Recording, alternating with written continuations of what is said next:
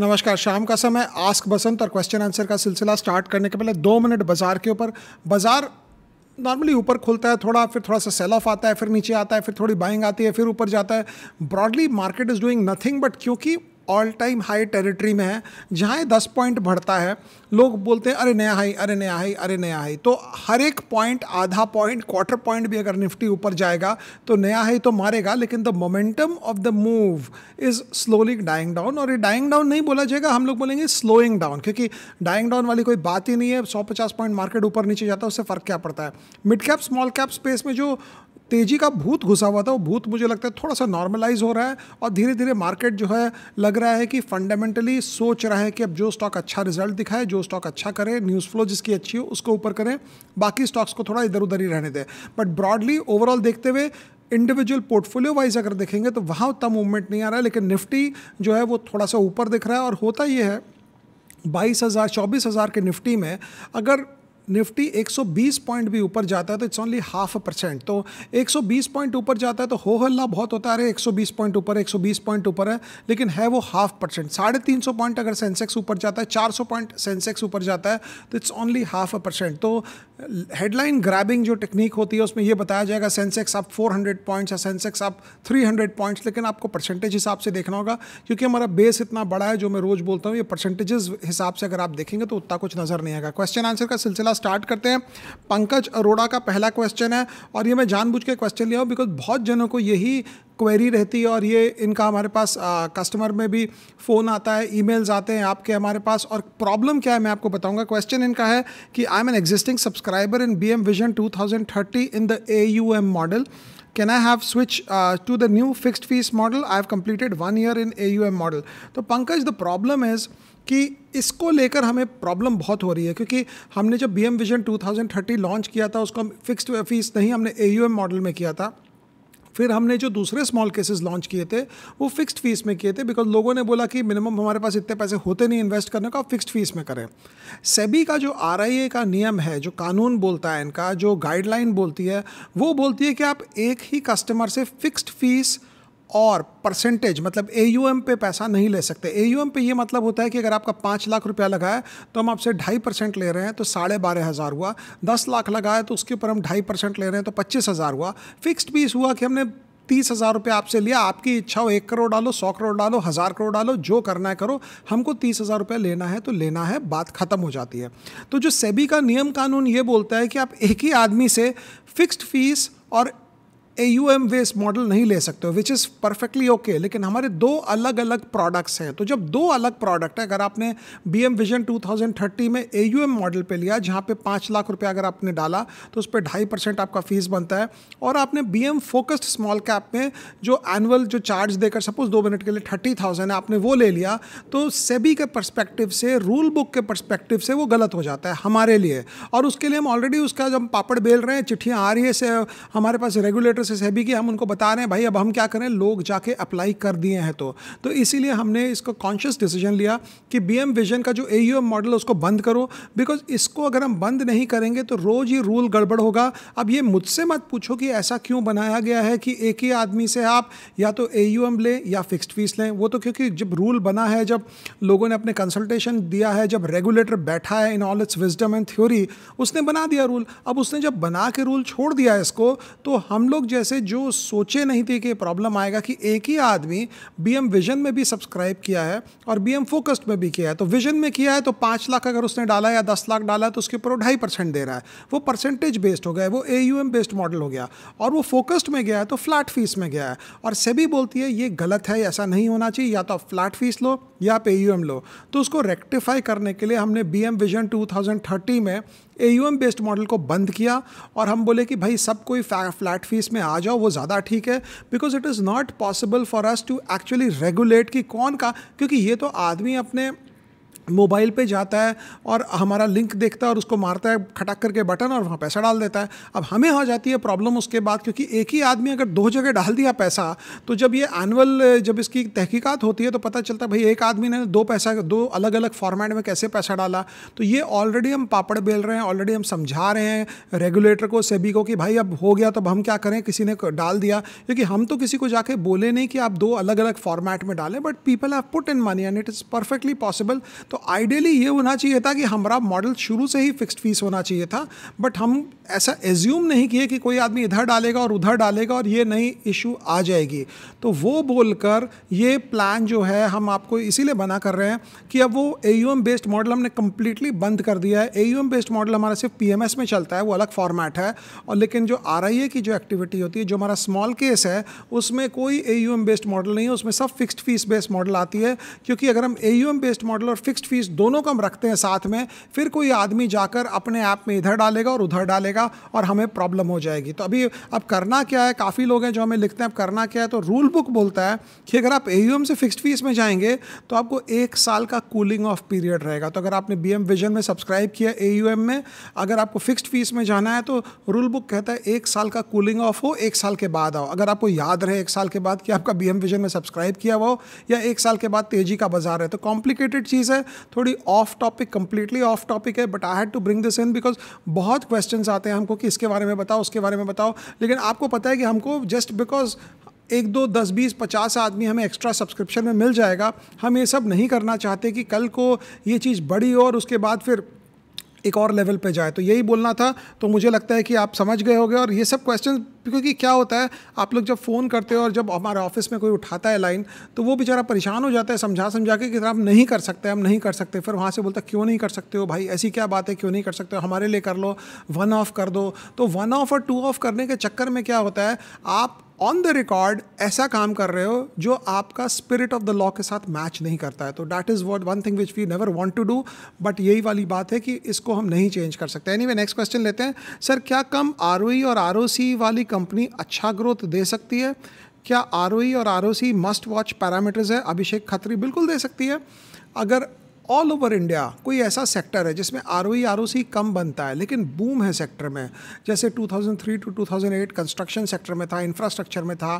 2021 से 2024 जो भी चल रहा है सेम इंफ्रास्ट्रक्चर है सोलर विंड पावर है, ये सब है। तो आरओई से ज़्यादा ग्रोथ तो आ रहा है। लेकिन इसका ये मतलब नहीं है कि कंटिन्यू करेगा। और दूसरी बात है, इसका ये भी मतलब नहीं है कि कंपनी जो है वो उतना ग्रोथ दे पाएगी, क्योंकि अगर ग्रोथ आपका फोर्टी परसेंट है और R O R O C twenty percent है तो पी आपका उड़ जाएगा, आसमान में चला जाएगा पी आप बोलेंगे, फिर कंपनी ग्रोथ कैसे करेगी? कंपनी ग्रोथ ऐसे करेगी कि कंपनी जाएगी बाहर और अपने इक्विटी डाइल्यूट करेगी या नया फंड रेस करेगी डेट रेस करेगी लोन उठाएगी और उसके बाद अपना ग्रोथ करेगी। लेकिन अगर दोनों में मिसमैच हो जाता है मतलब आरओई अगर आपका ट्वेंटी परसेंट है और ग्रोथ फोर्टी परसेंट है तो एक साल, दो साल तो आप चला सकते हो। लेकिन तीन साल, चार साल बाद जैसे ही बुल मार्केट ख़त्म होता है, जैसे ही बुल मार्केट फिनिश होएगा, उस समय आपको ये मुसीबत आएगी कि उस समय आपका ये जो आर और आरओसी है, दोनों को लेकर क्योंकि आपका ग्रोथ ज़्यादा है, आपको ये समझ में आना पड़ेगा कि अगर आपका फंड रेजिंग नहीं होता है इधर थ्रू डेट और इक्विटी आपका ग्रोथ रुक जाएगा। और उस समय ये सब स्टॉक्स जो होते हैं, वो दस बीस परसेंट नहीं गिरते हैं, वो पचास साठ सत्तर अस्सी परसेंट गिरते हैं। और ये पुराना नियम है शेयर बाज़ार का नियम है, कोई नई बात नहीं है, और इसीलिए आपको समझ के रखना पड़ेगा। कि अगर आर ओ आर ओ सी नहीं है और ग्रोथ है तो अच्छी बात है ग्रोथ चलेगी, लेकिन जब भी वो ग्रोथ रुकेगी स्टॉक प्राइस जो है उसको ढिचकियाँ कर दिया जाएगा बाज़ार की तरफ़ से, क्योंकि बाज़ार जो है बोलेगा, भाई, अब तो तेरे को फंडिंग मिल नहीं रही है, क्योंकि बंदी का बाज़ार आ गया है, अब मुझे बताओ तुम ग्रोथ कैसे करोगे? और वो अगर स्टॉक बोल दिया कि हम ग्रोथ तो नहीं करेंगे तो फिर वहाँ से ढिचकियाँ होगा। तो वो एक प्रॉब्लम है। अभिषेक खत्री जी का आपका क्वेश्चन आंसर हुआ। नेक्स्ट क्वेश्चन लेते हैं भाई। Sir whenever India wins all the matches they lose in the finals अरे यार, ये बात तो आपने कैसी बात बोल दी। हमने वर्ल्ड कप में भी हमारे साथ यही हुआ था। हम one by one one by one one by one दे धपाधप करते हुए आगे भाग रहे थे। और फ़र्स्ट टाइम हुआ था 1987 रिलायंस कप में। वो मेरे को बहुत पेनफुल मोमेंट है बिकॉज़ उस समय हम लोग काफ़ी होश संभाल लिए थे कि क्रिकेट कैसे होता है और क्या होता है। और उस समय एक लड़का आके क्लास में बोला कि, पता है, एक रूल है, एक थ्योरी है। तो हम लोग बोले, क्या है? उसको प्रॉबिलिटी ऑफ़ ऑर्ड्स और ये सब तो पता नहीं था। उसने बोला, एक रूल बना है तो ये रूल ऐसा बोलता है कि तुम सारा मैच नहीं जीत सकते हो। तो हम लोग बोले, ऐसा किसने रूल बनाया? तो बोला, नहीं नहीं, ऐसा रूल बनाया और मैं पढ़ा हूँ, मुझे किसी ने बताया कि ऐसा रूल है कि तुम सारा मैच नहीं जीत सकते हो और तुम अगर आठ मैच नौ मैच जीत गए हो तो एक मैच तुमको हारना ही हारना है। रिलायंस कप 1987 की बात हो रही है। उस समय भी ऐसा ही हुआ, लेकिन ऐसी बातें मत बोलो यार, क्या पता ये चक्करबाजी में हम लोग इस बार थोड़ा डिफरेंट ही हो जाएँगे। मेरे को लगता है कि डिफरेंट हो जाएँगे। इस बार ऐसा वो फैक्टर नहीं आएगा कि हम फाइनल में नहीं जीत पाए। And this is my thought this is my belief और कल शाम को ही पता चलेगा सैटरडे को जब हम देखेंगे तो। नेक्स्ट क्वेश्चन लेते हैं।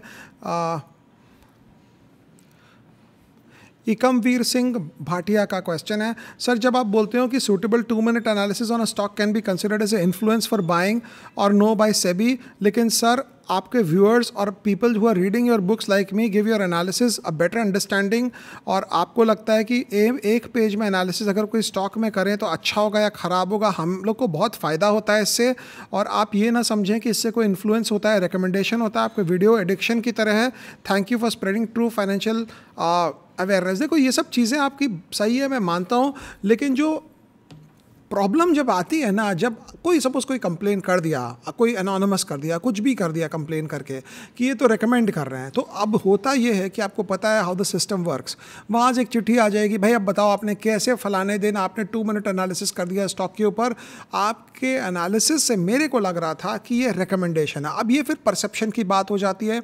तो कोई भी रेगुलेटर कोई भी चीज़ बोले, हम खासा इंटरेस्ट इसमें रखते हैं कि कहीं पे भी हमसे कोई इधर उधर चूक चाक ना हो जाए सो डेट कल नहीं तो परसों ये बात उठकर सर पे आ जाएगी। तो उस इंस्पाइट ऑफ़ डैट ये सब प्रॉब्लम्स तो रहेगी।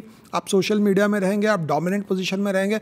अब हमारे चैनल में सत्ताईस लाख आदमी आते हैं हर तीन महीने में, सत्ताईस लाख, अट्ठाईस लाख अप्रॉक्सीमेटली तीस लाख आदमी approximately I assume next three months में आएँगे बिकॉज़ ये स्पीड बहुत ज़्यादा बढ़ रही है लोगों की चैनल में आने की। तो इतने आदमी जब आते हैं, किसी ने ले लिया रिकमेंडेशन समझ लिया कंप्लेन कर दिया, झमेला हो गया, इसीलिए मैं छः बार बोलता हूँ इट्स नॉट अ रिकमेंडेशन और इन्फ्लुएंस भी नहीं होना है।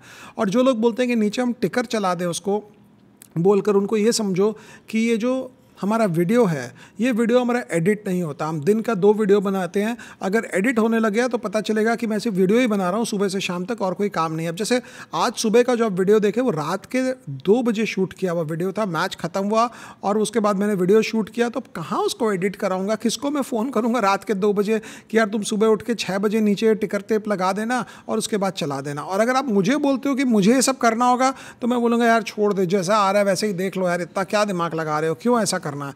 फिर भी बार बार इसलिए बोलते हैं because we want to be very safe because अभी अगर आप देखेंगे तो आप थोड़ा सा भी इधर उधर दाया बाया करेंगे तो दोस्त तो हमारे हर जगह हैं, आपको भी पता है। आप भी तो ये सब बात बोलने की नहीं होती वैसे। Anyway sir when next question लेते हैं। सर वर्किंग कैपिटल डेज़ कम होना चाहिए या ज़्यादा? क्या ये सेक्टर में डिफरेंट डिफरेंट होता है क्या? प्लीज़ एक्सप्लेन बाय लखी हलवाई एग्ज़ाम्पल कुंदन मिश्रा का क्वेश्चन है। वर्किंग कैपिटल डेज़ कम होना चाहिए। अगर वर्किंग कैपिटल डेज़ ज़्यादा हुआ मतलब कि आपको कैपिटल बहुत चाहिए हो बिज़नेस करने में, और वो एक रेड फ्लैग है, एक वो नेगेटिव चीज़ है।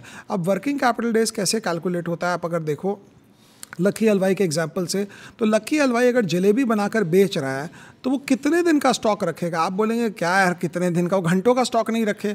अगर कोई जलेबी खरीदने आया और पता चला कि लखी हलवाई उसके ऊपर से मक्खी भगा रहा है, कि यार जलेबी पड़ी है, उसके ऊपर से मक्खी भगा रहे हैं, उठाकर हैंड वाले पंखा से या न्यूज़पेपर से ऐसे ऐसे करके तो आप तो बोलेंगे, छोड़ दे यार, इसके जलेबी के ऊपर मक्खी पड़ी है।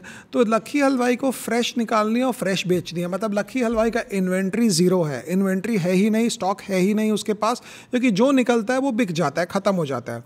सेकेंड चीज़ है लखी हलवाई उधार में जलेबी खिलाएगा नहीं। आपको कि यार आपने सौ रुपये की जलेबी खा खा ली आप बोले, अगले महीने जब सैलरी आएगी तो दूँगा। ऐसा कुछ है ही नहीं। अगर लकी हलवाई थोड़ा सा एसी वाला दुकान कर लिया तो बोलेगा, पहले वहाँ कैशियर में कूपन कटवा के इधर आइए, फिर वो कूपन कटवा कटवा के वो कागज़ इधर से उधर उधर से उधर उधर से उधर करते करते आपके पास आएगा और जब लकी हलवाई के पास आएगा तो वो कागज़ देखेगा, उसके बाद साइड में रख देगा और उसके बाद आपको जलेबी निकाल के दे देगा जितना आपने मांगा है। तो बेसिकली इन्वेंट्री नहीं है और डेटर्स नहीं है।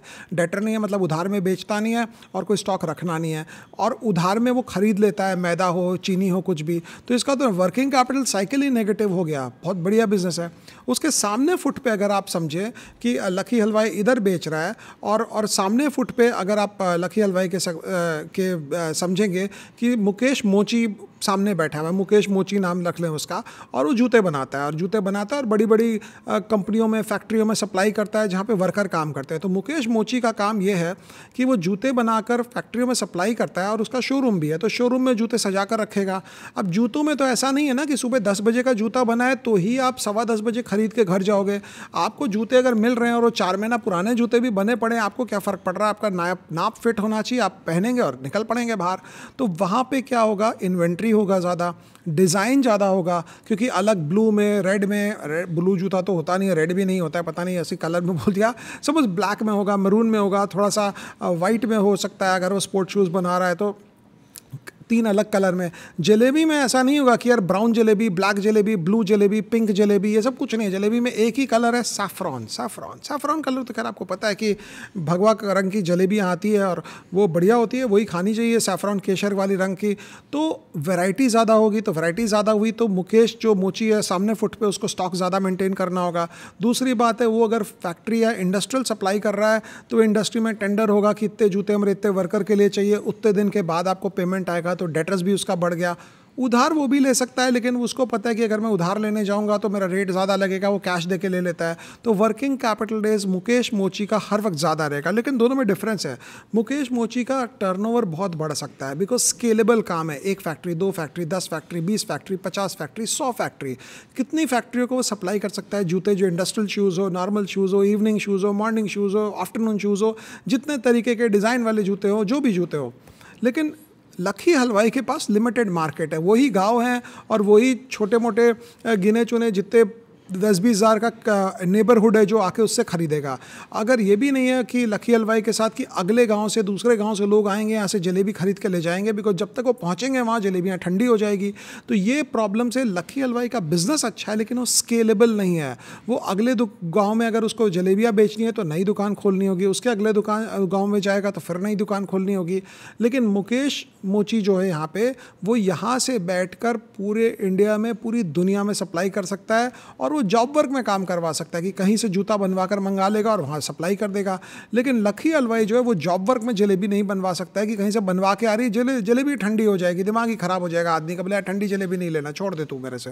तो ये वाली प्रॉब्लम होती है जब भी आप वर्किंग कैपिटल देखते हो। ज़्यादा ज्ञान हो गया बट मुझे लगता है कि ये वाला ज्ञान आपको काफ़ी हेल्पफुल होगा बिकॉज़ इससे क्या है डायरेक्टली इनडायरेक्टली हम काफ़ी कुछ डिस्कस और डिसाइड कर लेते हैं कि भाई किस पैटर्न से, किस हिसाब से आपको एनालिसिस करनी है। यानी मैं नेक्स्ट क्वेश्चन लेते हैं। प्रवीण है, मैं दिल्ली से हूँ। क्या मैं कुछ प्रॉफिट बुक कर सकता हूँ या एफडी कर लूँ? मेरी एज 53 है क्योंकि तो बेयर मार्केट आएगा तो हम 50 परसेंट पोर्टफोलियो खो देंगे। I want to leave my job and want to retire Praveen, ये बात तो पक्की है। आपको एक चीज़ समझ के रखना होगा कि बेयर मार्केट आएगा तो पोर्टफोलियो तो घटेगा, लेकिन जो फुल्ली कैश में आ जाते हैं, वो वापस घुस नहीं पाते हैं। वो कैश में ही रहते हैं, तमाशा होता है, नीचे आता है, बाज़ार ऊपर जाता है। हाँ बट अगर आपको रिस्क लेने की इच्छा नहीं है तो आप ज़रूर कर सकते हैं जो आप बोल रहे हैं। अगर आपको ये लग रहा है कि यार मार्केट बढ़ जाएगा तो बढ़ने दो, मुझे कोई फ़र्क नहीं पड़ता है। मेरे ज़िंदगी के पैसे बन गए तो obviously you can do what you want to do but normally मैं सजेस्ट नहीं करता हूँ कि पूरा पोर्टफोलियो का आप बेच बाज के ख़त्म कर दें। अगर ऐसा ही है तो आप लार्ज कैप्स में आ जाएँ, वो ज़्यादा अच्छा है। बट मार्केट जो है ऑन ऑन द होल अगर आप है तो आप ऐसे एनालिसिस बाज़ार की करेंगे कि मैं सब बेच के निकल जाऊँ और उसके बाद उसमें डालूँगा शेयर बाज़ार जब नीचे आ जाएगा तो मुझे कहीं से इन्फॉर्मेशन आ जाएगी कि this is the time to get back in ऐसा होता नहीं है मार्केट में तो वो आपको देख के समझना होगा। सर, आपके कोई पुराने वीडियो में आपने बोला था I C W A six का क्वेश्चन है कि आपने का पोर्टफोलियो अगर छोटा है तो आप इन एंड आउट कर सकते हो। मेरा पोर्टफोलियो सिर्फ़ सात लाख का है। मैं अट्ठाईस परसेंट प्रॉफिट में हूँ और डिसाइड किया हूँ बेचने का। जब बाज़ार मुझे ओवर हीटेड लग रहा है am I doing the right thing sir देखो, एक तो बेचोगे तो एक मुसीबत यह है कि आपको पूरा टैक्स सर पर आ जाएगा। आप बेच के उसी दाम पर लोगे तो टैक्स का आउटफ्लो हो जाएगा। दूसरी बात, बेचने के साथ एक और मुसीबत ये होती है कि अगर आप बेच दिए और वापस नहीं ले पाए तो फिर जो स्टॉक आपका बिकता है वो वापस नहीं जाता है। अब आपने अगर सपोज़ कोई स्टॉक आपने लिया हुआ है, उसको आपने बेच दिया, वो जहाँ बढ़ जाएगा ना, आप बोलेंगे छोड़ दे, उसको कुछ और ले लेते हैं। तो अच्छे अच्छे स्टॉक हाथ से निकल जाते हैं। मेरा पोर्टफोलियो छोटा था, बड़ा था बट जब बड़ा पैसा मेरा बनने लग गया, मैं वो बेचने लेने वाला काम छोड़ दिया और जब भी हमने इतना दिमाग लगाया ना कि ये बढ़ गया, एक बार बेच देते हैं, वापस ले लेंगे, ये कर लेंगे, वो कर लेंगे, तब हमने ये देखा है कि वो गड़बड़ ही हुआ है। पड़ा रहने दो, घटेगा तो और पैसा लाओ कहीं से, और कोई काम करो, और कोई साइड हसल जिसको अमेरिका में बोलते हैं, कुछ और काम करो, वो पैसा लाओ और उसको भी डालो बाज़ार में। I think that's a better way of looking at it rather than कि मार्केट में आप यही सोचें कि हम मार्केट बढ़ेगा, घटेगा तो हम ये करेंगे, हम वो करेंगे। बिकॉज़ इतना ज़्यादा मार्केट के साथ अगर आप फाइन पॉइंट पिन पॉइंट करेंगे कि कौन से टर्निंग पॉइंट्स है तो वैसे होता नहीं है नॉर्मली सर अगर पोर्टफोलियो मल्टीपल स्टॉक्स का है और पुट खरीद के हेज करने का फॉर्मूला होगा। एग्ज़ाम्पल मेरा पोर्टफोलियो 25 लाख का है तो मुझे किस मंथ के इंडेक्स में पुट खरीदना चाहिए? अरविंद बोल रहे हैं। अरविंद, आप ये बहुत ज़्यादा यूट्यूब वाले जितने भैया लोग हैं, उनको सुन रहे हैं, सब छोड़ दो सुनना। पुट वुट खरीदते जाओगे, पता चलेगा तीन चार महीना बाज़ार गिरा है नहीं, आपका पोर्टफोलियो 10-15 परसेंट ऐसे ही कम हो गया क्योंकि पुट का खर्चा है।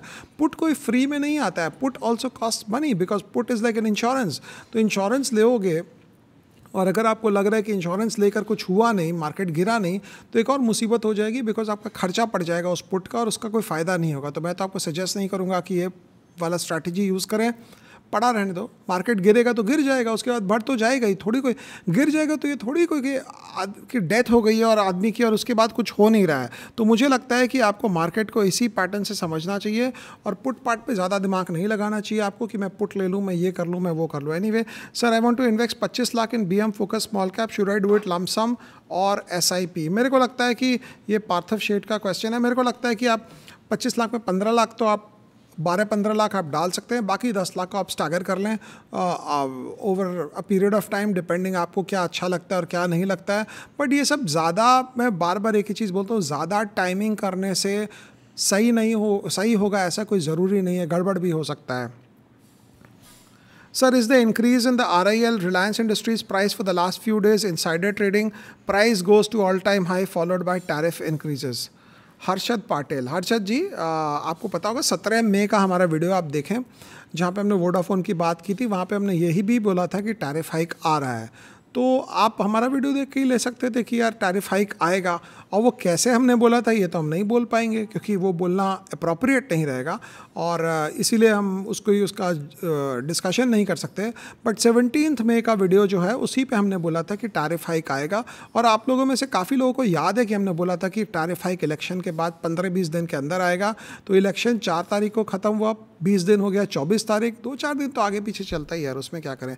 आप लोग लाइक करें शेयर करें सब्सक्राइब करें कमेंट करें। माइक हिला हाथ से, जानबूझ के नहीं हिलाया। अपने हाथ इधर मैंने किया, उधर से हिल गया। बट आप लाइक शेयर सब्सक्राइब ज़रूर करें कमेंट करें। और ट्रोल करने वाली तो कोई बात ही नहीं अभी तो मैं अच्छी अच्छी बातें कर रहा हूँ, ना मैं किसी के अगेंस्ट बोल रहा हूँ, ना मैं डिचक्याँ कर रहा हूँ किसी को। तो ट्रोल क्यों करेगा? तो ट्रोल करने का नहीं सोचना। बट लाइक शेयर सब्सक्राइब ज़रूर कर लेना, वो ज़रा ठीक रहेगा। एनी नेक्स्ट क्वेश्चन लेते हैं। सर अगर order book more than market cap है तो क्या स्टॉक अंडर वैल्यूड है कि ओवर वैल्यूड है? ऑर्डर बुक मार्केट कैप से ज़्यादा है तो आप कुछ नहीं बोल सकते। वो ऑर्डर बुक का एग्जीक्यूशन साइकिल क्या है? अगर मार्केट कैप एक हज़ार करोड़ है और ऑर्डर बुक पाँच हज़ार करोड़ है तो ग्रेट न्यूज़ क्योंकि मार्केट कैप से पाँच गुना बड़ा है ऑर्डर बुक लेकिन वो ऑर्डर बुक एग्जीक्यूट करना है पचास साल में। तो साल का कितना हुआ? पाँच हज़ार डिवाइडेड बाई पचास मतलब कि साल का सौ करोड़ ही तो आया ऑर्डर तो आपको ये देखना होगा कि ऑर्डर बुक का एवरेज एग्जीक्यूशन साइकिल क्या है। और वो कंपनी बोलेगी या तो कॉन कॉल में बोलेगी या प्रेजेंटेशन में बोलेगी तभी आपको पता चलेगा कि उस, उसका एवरेज एग्जीक्यूशन साइकिल अगर विद इन लिमिट्स है तब तो ठीक है। अगर बहुत लंबा है एवरेज एग्जीक्यूशन साइकिल मतलब अगर नंबर ऑफ़ मंथ्स बहुत लंबा हो रहा है नंबर ऑफ़ ईयर्स बहुत लंबा हो रहा है तब फिर उस बढ़े हुए ऑर्डर बुक का कोई फ़ायदा नहीं।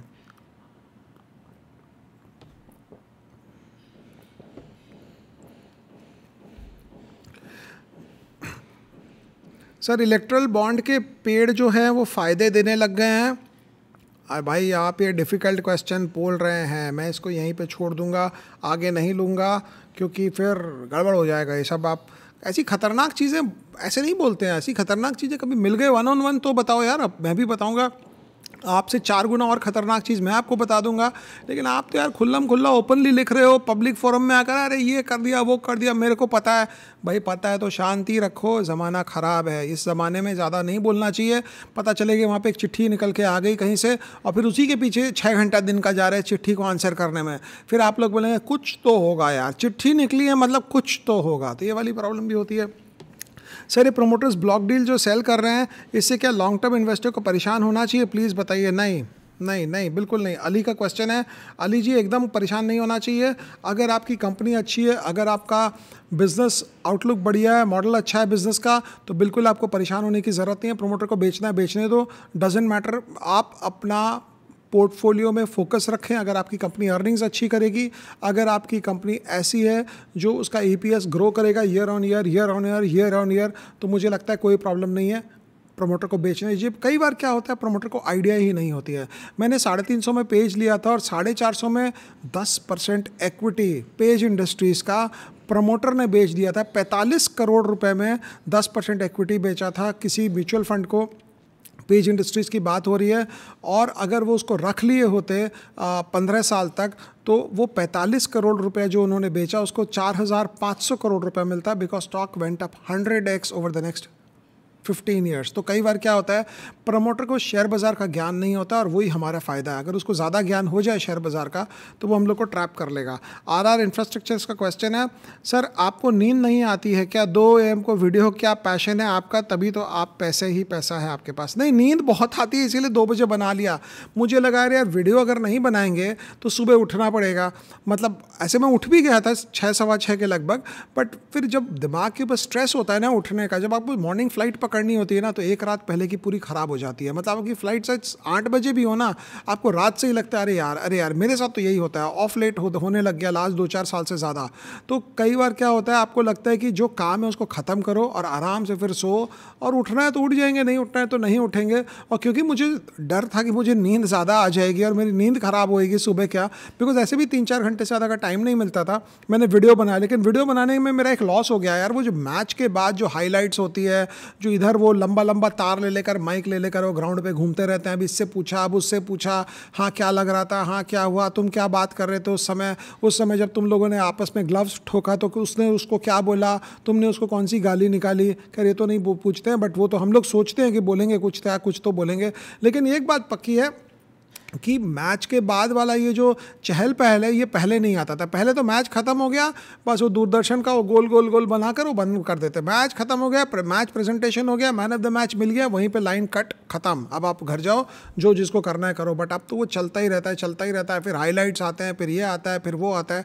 एनी वे नेक्स्ट क्वेश्चन लेते हैं। गड़बड़ हो जाएगा ज़्यादा कहानी करने पर पंकज भंडारी बोल रहे हैं अपने मुँह में या मिट्ठू बन के लोग जो रहते हैं आपकी क्या राय है जो अपनी बहुत तारीफ़ करते हैं? हम्म, आ, कोई राय नहीं है।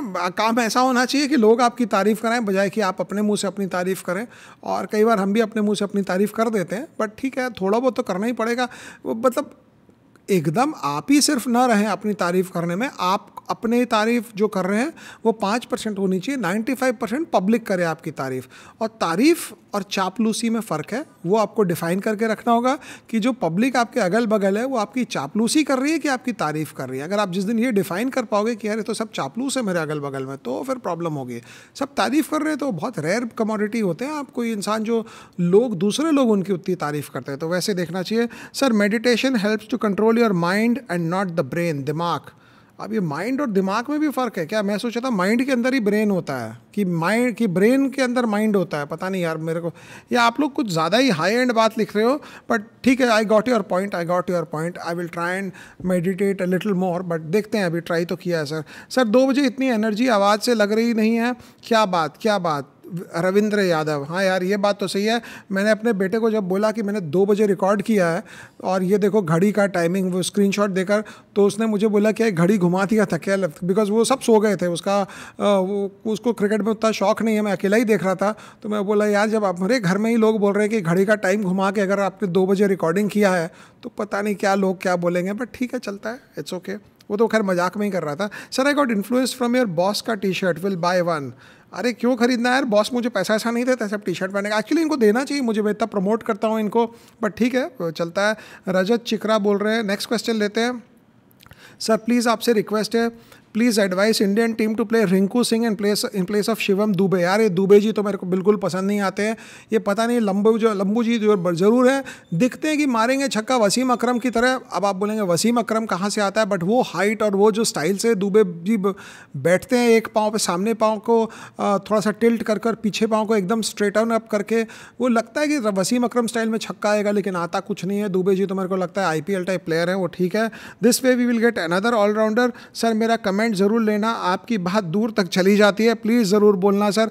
प्रवन प्रवन गुप्ता प्रवन गुप्ता प्रवन गुप्ता का ये बात है। भाई, Rahul can you can you listen to me Rahul? मैं राहुल द्रविड को बोल रहा हूँ by the way in case Rahul अगर सुन रहा है मेरी बात तो मान लेंगे। रोहित शर्मा तो मानेगा नहीं। रोहित शर्मा तो मुझे पता है तो मुँह फटे, बोलेगा, भाग यहाँ से, जो तेरे को जो करना है कर। हमको जिसको खिलाना है, हम खिलाएँगे। कोहली पाँच मैच से नहीं खेल पा रहा है, हम उसको थोड़ी हटाएँगे। अब तो मैं दुबे जी के बारे में बोल रहे हो, लेकिन मेरे को भी लगता है, यार, दुबे जी तो is not doing any good to the entire thing because मुझे लगता है कि ये क्या करने जाना है, ये भी समझ नहीं आता है। अच्छा एक जन ने मुझे ऑफ़ टॉपिक है, लेकिन एक जन ने मुझे बोला कि आप कि यहाँ पे कोई तिवारी जी और पांडे जी होंगे, इसीलिए आपका दिमाग जी लगाता है। And you are so right about it Pandey ji हमारे जो फैमिली एंसेस्ट्रल प्रॉपर्टी है जो मेरे ग्रैंडफादर की प्रॉपर्टी है उनके पूरे केयर टेकर हैं वो और वो बलिया से आते हैं और वो एक्चुअली हम लोग उनको पांडे जी ही बोलते हैं। शायद इसीलिए मेरे दिमाग में पांडे के आगे जी लग जाता है बिकॉज़ हमने ज़िंदगी में कभी नहीं बोला पांडे इधर आओ। हम हर वक्त यही बोलते हैं पांडे जी इधर आइए। बिकॉज़ बचपन से देखते आ रहे हैं और एक रिस्पेक्ट भी है। और तिवारी जी एक हमारे थे जो छपरा जो छपरा से थे बिहार में वो हमारे जे एंड के, माइंस में काम करते थे। खैर वो एज में मेरे से बहुत छोटे थे लेकिन फिर भी एक एक थोड़ी सी बिकॉज़ ऐसे ही बोलते थे, तिवारी जी, इधर आइए, ज़रा समझ लीजिए। बहुत छोटे तो नहीं, दो चार साल छोटे ही होंगे। बट ये ज़रूर, शायद इसीलिए कारण मेरे मुँह से तिवारी और पांडे निकलता नहीं है। तिवारी जी और पांडे जी निकल जाता है। बट मिश्रा जी हमारे यहाँ कोई नहीं थे और बाकी तो नहीं थे। दुबे जी भी कोई नहीं थे यार। ये तो दुबे जी तो हम लोग को थोड़ा सा निराश ही कर दिया, ये वाले दुबे जी तो। सर, जब चार्ट देखता हूँ, तब मुझे सिर्फ़ प्राइस दिखता है। तो क्या ये मेडिटेशन हुआ है? Mark my words, trader. नहीं, ये मेडिटेशन आपका गलत है। जब आप चार्ट देखते हैं तो आपको प्राइस के साथ वॉल्यूम भी देखना चाहिए। बिकॉज़ बिना वॉल्यूम के अगर आप सिर्फ़ प्राइस देख रहे हैं तो मतलब आप बड़ी सी गाड़ी देखे हैं, लेकिन वो गाड़ी के अंदर पेट्रोल कितना है, वो आपको नहीं पता है। बिकॉज़ अगर आप चार्ट देख रहे हैं, अगर स्टॉक गिरा है नीचे और वॉल्यूम नहीं है गिरने पर तो डरने का नहीं है। अगर गिरने वाला वॉल्यूम बहुत बड़ा वॉल्यूम बाहर आया है तो आपको डरना चाहिए कि इतने बड़े वॉल्यूम से क्यों गिरा। सिमिलरली अगर स्टॉक बॉटमिंग आउट करके ऊपर जा रहा है तो ह्यूज वॉल्यूम बार आना चाहिए। ह्यूज वॉल्यूम बार के साथ अगर पाँच, सात, आठ, दस, बारह परसेंट का प्राइस मूव आता है immediately on that day gap up होता है, थोड़ा सा गैप रहता है उसके अंदर और इतना बड़ा वॉल्यूम बार आता है मतलब स्टॉक में रिवर्सल आ गया। तो आप अगर चार्ट देख रहे हो और आप वॉल्यूम नहीं देख रहे हो साथ में तो मेरे को लगता है आप गड़बड़ कर रहे हो। मैं भी यहीं तक रख देता हूँ क्योंकि तीस मिनट का वीडियो बन गया है और अगर मैं आगे टानूँगा तो गड़बड़ होगा। मूड बहुत अच्छा है बिकॉज़ इंडिया सेमीफाइनल से आगे निकल के फाइनल में पहुँच गई है। कल शाम को देखते हैं क्या होता है, लेकिन वीडियो यहीं तक रखते हैं। Thank you so much bye bye